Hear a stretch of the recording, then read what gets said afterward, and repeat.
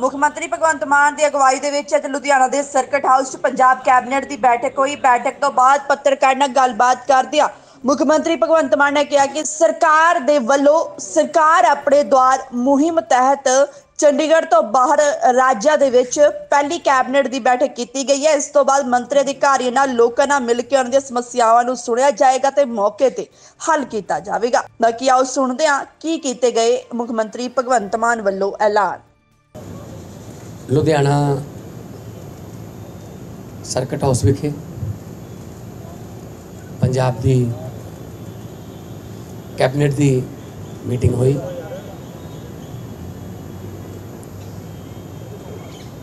ਬਹੁਤ ਸਾਰੇ ਅਹਿਮ ਫੈਸਲੇ ਇਸ ਮੀਟਿੰਗ ਦੌਰਾਨ ਵਿਚਾਰੇ ਗਏ। ਮੇਰੇ ਨਾਲ ਮੇਰੇ ਕੈਬਨਿਟ ਦੇ ਸਾਥੀ ਹਰਭਜਨ ਸਿੰਘ ਜੀ ਕੁਲਦੀਪ ਸਿੰਘ ਢਾਲੀਵਾਲ ਅਮਨ ਅਰੋੜਾ ਜੀ ਚੇਤਨ ਸਿੰਘ ਜੌਲ ਮਾਜਰਾ ਜੀ ਲਾਲਜੀਤ ਭੁੱਲਰ ਜੀ ਸਾਰੇ ਮੰ- ਮੰਤਰੀ ਸਾਹਿਬਾਨ ਜਿਨੇ ਵੀ ਅੱਜ ਕੈਬਨਿਟ ਦੇ ਵਿੱਚ ਪਹੁੰਚੇ ਧੰਨਵਾਦ ਸਭ ਤੋਂ ਪਹਿਲਾਂ ਤਾਂ ਇਹ ਚੰਡੀਗੜ੍ਹ ਤੋਂ ਬਾਹਰ ਪਹਿਲੀ ਸਾਡੀ ਕੈਬਨਿਟ ਹੈ ਤੇ ਫੈਸਲਾ ਲਿਆ ਗਿਆ ਅੱਜ ਸਰਬਸੰਮਤੀ ਨਾਲ ਕਿ ਜ਼ਿਆਦਾਤਰ ਕੈਬਨਿਟ ਮੀਟਿੰਗਾਂ ਜਿਹੜੀਆਂ ਨੇ, ਉਹ ਲੋਕਾਂ ਦੇ ਵਿੱਚ ਜਾ ਕੇ ਕਰਿਆ ਕਰਾਂ ਕੈਬਨਿਟ ਮੀਟਿੰਗ ਤੋਂ ਬਾਅਦ ਪ੍ਰੈਸ ਕਾਨਫਰੰਸ, ਤੇ ਉਸ ਤੋਂ ਬਾਅਦ ਉਸ ਇਲਾਕੇ ਦੇ ਜਿੱਥੇ ਕੈਬਨਿਟ ਮੀਟਿੰਗ ਹੋ ਰਹੀ ਹੈ, ਲੋਕਾਂ ਨੂੰ ਵੀ ਮਿਲਾਂਗੇ, ਵੱਖ-ਵੱਖ ਵਰਗਾਂ ਦੇ, ਉਹਨਾਂ ਦੀਆਂ ਜਿਹੜੀਆਂ ਕੋਈ ਮੁਸ਼ਕਲਾਂ, ਸ਼ਿਕਾਇਤਾਂ, ਸੁਝਾਅ ਨੇ ਉਹ ਵੀ ਸੁਣਾਂਗੇ। ਸਾਰੇ ਮੰਤਰੀ ਸਹਿਬਾਨ ਆਪਣੇ ਆਪਣੇ ਡਿਪਾਰਟਮੈਂਟ ਦੇ ਜਿਹੜੇ ਸੀਨੀਅਰ ਆਫੀਸਰ ਨੇ, ਉਹਨਾਂ ਨੂੰ ਵੀ ਨਾਲ ਲੈ ਕੇ ਜਾਣਗੇ ਤਾਂ ਕਿ ਮੌਕੇ ਤੇ ਹੱਲ ਹੋ ਸਕੇ। ਸੋ ਅੱਜ ਇਹ ਅਸੀਂ ਪਹਿਲੀ ਮੀਟਿੰਗ ਹੈ ਜਿਹੜੀ ਚੰਡੀਗੜ੍ਹ ਤੋਂ ਬਾਹਰ ਕੀਤੀ ਹੈ। ਸਰਕਾਰ ਤੁਹਾਡੇ ਦੁਆਰ ਦੇ ਨਾਂ ਤੇ ਅਸੀਂ ਇਹ ਮੁਹਿੰਮ ਜਿਹੜੀ ਹੈ ਸਾਰੇ ਪੰਜਾਬ 'ਚ ਜਾਵਾਂਗੇ। ਕਦੇ ਅਸੀਂ ਮੋਗੇ ਕਰਾਂਗੇ, ਕਦੇ ਅਸੀਂ ਮਾਨਸਾ ਜਾਵਾਂਗੇ। ਕਦੇ ਅਸੀਂ ਹੁਸ਼ਿਆਰਪੁਰ ਜਾਵਾਂਗੇ, ਕਦੇ ਕਿਸੇ ਵੱਡੇ ਪਿੰਡ 'ਚ ਵੀ ਜਾ ਸਕਦੇ ਹਾਂ ਤੇ ਉਹ ਪਿੰਡ ਦੇ ਲੋਕਾਂ ਨੂੰ ਵੀ ਇਨਵੋਲਵ ਕਰਾਂਗੇ ਲੋਕਲ ਸਮੱਸਿਆਵਾਂ। ਬਾਅਦ ਦੇ ਵਿੱਚ ਉਹਨਾਂ ਦੀਆਂ ਤਾਂ ਕਿ ਲਗਭਗ ਜਿਸ ਦਿਨ ਕੈਬਨਿਟ ਮੀਟਿੰਗ ਜਿੱਥੇ ਵੀ ਹੋ ਰਹੀ ਹੈ, ਉੱਥੇ ਲਗਭਗ ਸਾਰਾ ਦਿਨ ਸਰਕਾਰ ਉੱਥੇ ਰਵੇ ਤਾਂ ਕਿ ਉਹ ਉਸ ਇਲਾਕੇ ਦੇ ਜਿਹੜੇ ਮਸਲੇ ਨੇ ਉਹਨਾਂ ਨੂੰ ਉੱਥੇ ਹੀ ਹੱਲ ਕੀਤਾ ਜਾ- ਜਾ ਸਕੇ। ਲੋਕਾਂ ਦੀਆਂ ਦਫ਼ਤਰਾਂ ਦੀਆਂ ਖੱਜਲ ਖੁਆਰੀਆਂ ਜਾਂ ਚੰਡੀਗੜ੍ਹ ਆਉਣ ਦੀਆਂ ਖੱਜਲ ਖੁਆਰੀਆਂ ਘਟ ਸਕਣ। ਅੱਜ ਦੀ ਕੈਬਨਿਟ ਦੇ ਵਿੱਚ ਕੁਝ ਰਸਮੀ ਏਜੰਡੇ ਸੀ ਤੇ ਕੁਝ ਖਾਸ ਜਿਹੜੇ ਕੈਬਨਿਟ ਦੇ ਵਿੱਚ ਪਾਸ ਹੋਏ, ਉਹਨਾਂ ਦੇ ਵਿੱਚ ਮੈਂ ਤੁਹਾਨੂੰ ਦੱਸ ਦਿੰਨਾ। ਇੱਕ ਤਾਂ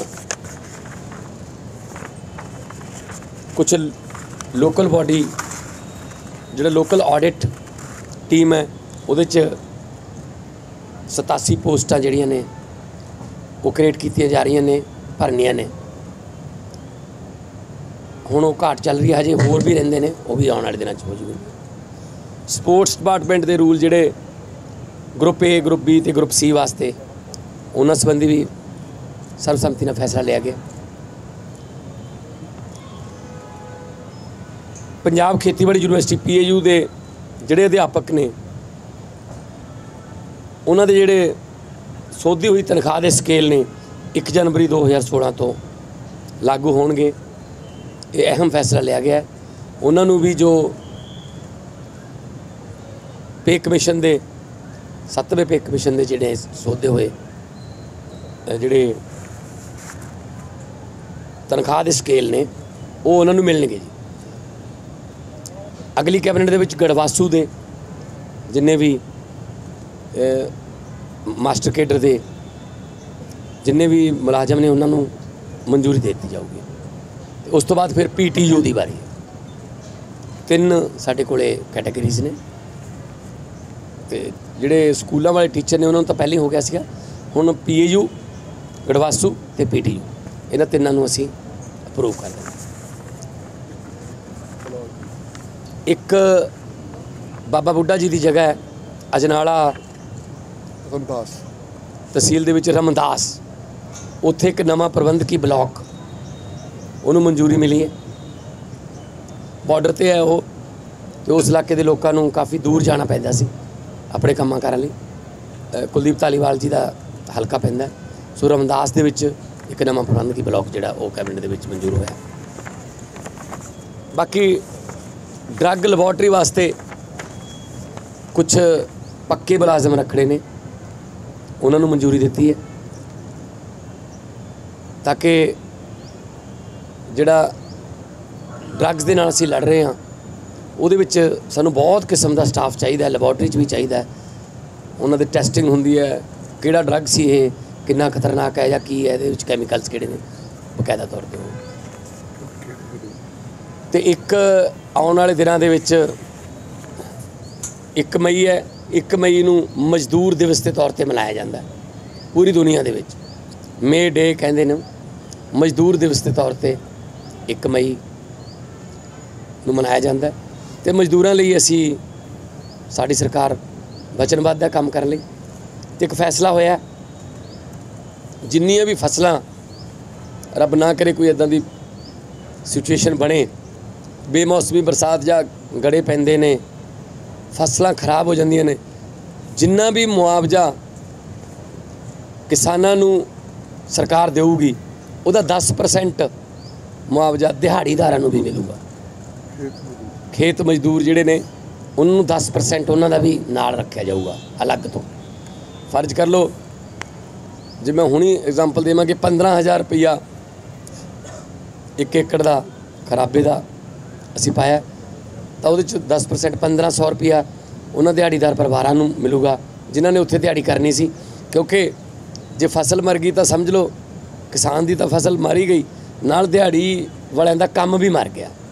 ਸੋ ਉਸ ਕੰਮ ਦੀ ਭਰਪਾਈ ਕਰਨ ਵਾਸਤੇ ਮਜ਼ਦੂਰ ਦਿਵਸ ਤੇ ਅਸੀਂ ਇਹ ਤੋਹਫਾ ਦੇ ਰਹੇ ਹਾਂ। ਆਉਣ ਵਾਲੇ ਦਿਨਾਂ 'ਚ ਹੋਰ ਵੀ ਅਸੀਂ ਮਜ਼ਦੂਰਾਂ ਦੀ ਬਹੁਤ ਵੱਡੇ ਪੱਧਰ ਤੇ ਰਜਿਸਟ੍ਰੇਸ਼ਨ ਕਰਾਉਣੀ ਹੈ, ਕਿਉਂਕਿ ਬਹੁਤ ਘੱਟ ਮਜ਼ਦੂਰ ਰਜਿਸਟਰਡ ਨੇ ਜਿਹਦੇ ਨਾਲ ਸੈਂਟਰ ਸਰਕਾਰ ਦੀਆਂ ਤੇ ਪੰਜਾਬ ਸਰਕਾਰ ਦੀਆਂ ਬਹੁਤ ਸਾਰੀਆਂ ਪਾਲਿਸੀਜ਼ ਲੈਪਸ ਹੋ ਜਾਂਦੀਆਂ ਨੇ। ਉਹ ਪੈਸਾ ਵੀ ਵਾਪਸ ਚਲਾ ਜਾਂਦਾ ਜਾਂ ਖੜਾ ਰਹਿੰਦਾ, ਉਹ ਸਟਕ ਹੋ ਜਾਂਦਾ। ਕਿਉਂਕਿ ਰਜਿਸਟਰਡ ਨਹੀਂ ਹੈਗੇ। ਅਸੀਂ ਆਪਣੇ ਅਫਸਰਾਂ ਨੂੰ ਕਿਹਾ ਲੇਬਰ ਚੌਂਕਾਂ 'ਚ ਜਾਣ, ਉੱਥੇ ਜਾ ਕੇ ਲੇਬਰ ਚੌਂਕ ਦੇ ਵਿੱਚ ਮਜ਼ਦੂਰਾਂ ਨੂੰ ਮਿਲਣ ਤੇ ਉਹਨਾਂ ਨੂੰ ਰਜਿਸਟਰਡ ਕਰਨ, ਆਪਣੇ ਕੰਪਿਊਟਰ ਨਾਲ ਲੈ ਜਾਣ। ਬਾਇਓਮੈਟ੍ਰਿਕ ਜਿਹੜਾ ਅੰਗੂਠਾ ਲਵਾਉਣ ਵਾਸਤੇ ਜਾਂ ਆਈ ਰਟੀਨਾ ਦਾ ਟੈਸਟ ਲੈਣ ਵਾਸਤੇ ਉਹ ਲੈ ਜਾਣ ਨਾਲ। ਕੰਸਟਰਕਸ਼ਨ ਦੀਆਂ ਸਾਈਟਾਂ ਤੇ ਜਾਣ, ਜਿੱਥੇ ਜਿੱਥੇ ਕੰਸਟਰਕਸ਼ਨ ਹੋ ਰਹੀ ਹੈ ਪਿੰਡਾਂ, ਸ਼ਹਿਰਾਂ 'ਚ, ਜਿਹੜੇ ਮਜ਼ਦੂਰ ਨੇ ਅਸਲੀ, ਉਹਨਾਂ ਨੂੰ ਅੱਧੇ ਘੰਟੇ ਦੀ ਬ੍ਰੇਕ ਲੈ ਕੇ ਉੱਥੇ ਹੀ ਤੁਸੀਂ ਰਜਿਸਟਰ ਕਰ ਸਕਦੇ ਹੋ। ਤੇ ਪਿੰਡਾਂ ਦੀਆਂ ਸੱਥਾਂ ਦੇ ਵਿੱਚ ਜਾਣ, ਸਾਰੇ ਪਿੰਡ ਨੂੰ ਪਤਾ ਹੁੰਦਾ ਕੌਣ ਕੌਣ ਦਿਹਾੜੀ ਕਰਦੇ ਨੇ, ਕਿੰਨਾ ਕਿੰਨਾ ਦਾ ਪਰਿਵਾਰ ਦਿਹਾੜੀ ਤੋਂ ਜਿਹੜਾ ਉਹ ਚੱਲਦਾ ਸੋ ਅਸੀਂ ਕੋਸ਼ਿਸ਼ ਹੈ, ਵੱਧ ਤੋਂ ਵੱਧ ਮਜ਼ਦੂਰਾਂ ਨੂੰ ਰਜਿਸਟਰਡ ਕਰਾ ਕੇ ਇਸ ਸਕੀਮ 'ਚ ਲੈ ਕੇ ਆਈਏ। ਤੇ ਭਾਰਤ ਸਰਕਾਰ ਤੇ ਪੰਜਾਬ ਸਰਕਾਰ ਦੀ ਜਿਹੜੀ ਸਕੀਮ ਹੈ ਉਹਦਾ ਵੱਧ ਤੋਂ ਵੱਧ ਫਾਇਦਾ ਮਿਲ ਸਕੇ ਉਹਨਾਂ ਨੂੰ, ਜਿਹਦੇ ਵਿੱਚ ਉਹਨਾਂ ਦੇ ਬੱਚਿਆਂ ਦੀ ਫੀਸ ਵੀ ਫ੍ਰੀ ਹੈ, ਉਹਨਾਂ ਦਾ ਆਪਦਾ ਇਲਾਜ ਵੀ ਫ੍ਰੀ ਹੈ। ਬਹੁਤ ਸਾਰੀਆਂ ਬਹੁਤ ਸਾਰੀਆਂ ਸਕੀਮਾਂ ਨੇ। ਸੋ ਇੱਕ ਖੇਤ ਮਜ਼ਦੂਰ ਤੋਂ ਲੈ ਕੇ ਇੱਕ ਵੱਡੇ ਵਪਾਰੀ ਤੱਕ ਪੰਜਾਬ ਸਰਕਾਰ ਜਿਹੜੀ ਹੈ, ਉਹ ਹਰ ਵਰਗ ਦਾ ਖਿਆਲ ਰੱਖ ਰਹੀ ਹੈ। ਤੇ ਅਸੀਂ ਆਉਣ ਵਾਲੇ ਦਿਨਾਂ ਦੇ ਵਿੱਚ ਹੋਰ ਵੀ ਬਹੁਤ ਸਾਰੀਆਂ ਪਾਲਿਸੀਜ਼ ਜੋ ਪੰਜਾਬ ਪੱਖੀ ਨੇ, ਲੋਕ ਪੱਖੀ ਨੇ, ਉਹ ਲੈ ਕੇ ਆਵਾਂਗੇ। ਕੋਈ ਵੀ ਫਾਈਲ ਅਸੀਂ ਪੈਂਡਿੰਗ ਨਹੀਂ ਛੱਡਦੇ, ਮੇਰੇ ਮੰ- ਜਿਹੜੇ ਕੈਬਨਿਟ ਹੈ, ਮੰਤਰੀਆਂ ਨੂੰ ਵੀ ਇਹੀ ਸਲਾਹ ਦਿੱਤੀ ਹੋਈ ਹੈ ਅਸੀਂ ਕਿ ਕੋਈ ਫਾਈਲ ਪੈਂਡਿੰਗ ਨਾ ਪਵੇ, ਕਿਸੇ ਪੈਂਡਿੰਗ ਫਾਈਲ ਕਰਕੇ ਕਿਸੇ ਦਾ ਕੰਮ ਨਾ ਰੁਕੇ। ਇਸ ਤੋਂ ਪਹਿਲਾਂ ਦੋ ਦੋ ਤਿੰਨ ਤਿੰਨ ਸਾਲ ਦੀਆਂ ਫਾਈਲਾਂ ਪੈਂਡਿੰਗ ਪਈਆਂ ਸੀ।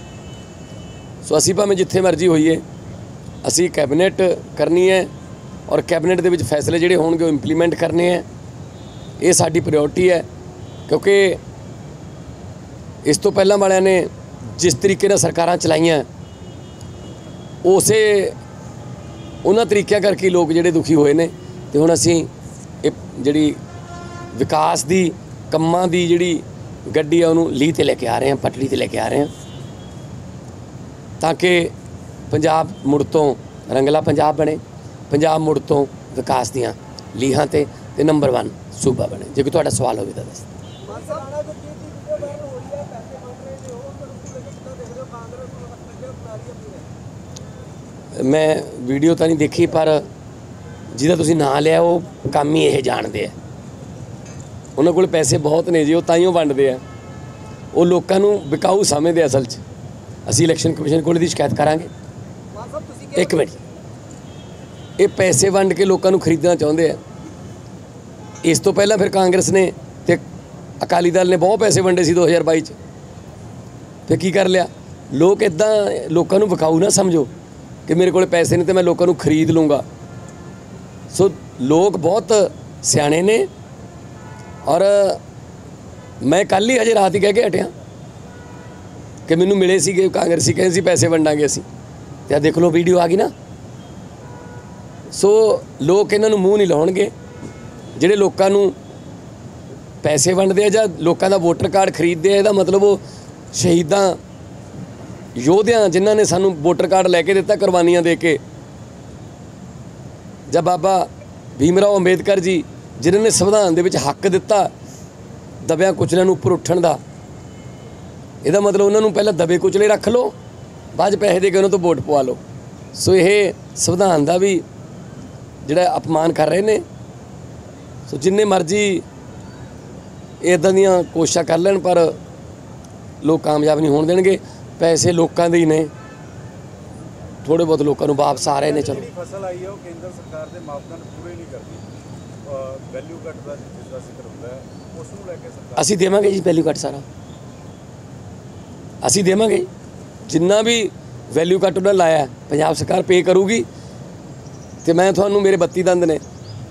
ਮੈਂ ਤੁਹਾਨੂੰ ਇਹ ਦੱਸਣਾ ਚਾਹੁੰਦਾ ਇਹੀ ਕਣਕ ਮਾਪਦੰਡ ਤੇ ਪੂਰੀ ਉਤਰੂਗੀ।